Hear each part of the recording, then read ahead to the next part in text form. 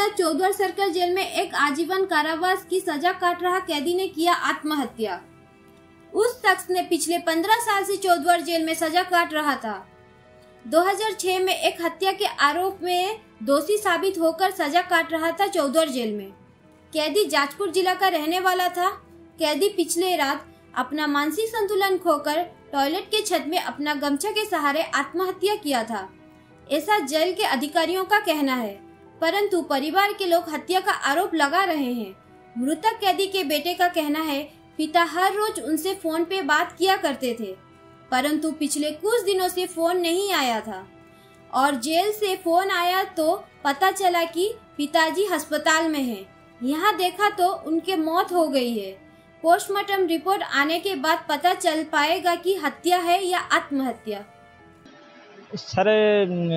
आज सका ଚାରି ଛଅ ଦିନ ହେଲା ବାପା ଫୋନ୍ କରିନଥିଲେ ବାପା ମହେନ୍ଦ୍ର ଦାସ ଫୋନ୍ କରିଥିଲେ ଯେତେବେଳେ ଫୋନ୍ କରିଥିଲେ ଚାରି ଛଅ ଦିନ ହେଲା ଫୋନ୍ କରିନାହାନ୍ତି ଜେଲର ଯିଏ ଆଜି ତାଙ୍କ ଥାନାରୁ ଜେଲୁ ଯେ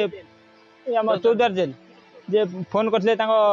ଜେଲର ସେ କହିଲେ ଯେ ତମେ ମହେନ୍ଦ୍ର ନାଙ୍କ ପୁଅ ନା ମୁଁ କହିଲି ହଁ ମୁଁ ଦୋକାନ ସେତେବେଳେ ଥିନି ତାପରେ କହିଲେ ତମ ମାଆଙ୍କ ନମ୍ବରଟା ଦିଅ ମାଆଙ୍କ ନମ୍ବରଟା ଦେଲା ପରେ ମାଆଙ୍କୁ ତାଙ୍କର କ'ଣ ଫୋନ୍ କରି କହିଲେ ମା ମୋତେ ଫୋନ୍ କରି କହିଲେ ଯେ कहले तू बापा देह छिरे से तु भारी था आम जा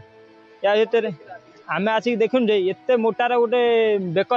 रसी हो कि गामुछा हूँ भिड़ाई मराई जा ना ना ताकु थाना भितर मारी जेल भीतर। जेल जेल भितर मारी जोर जबरदस्त करू करू करू અને ଜେଲ୍ ତତ୍ପକ୍ଷଙ୍କୁ ଦାୟୀ କରୁ ଯୋଉ ଦେବ ତାଙ୍କୁ ମରା ହେଇଛି ଆଉ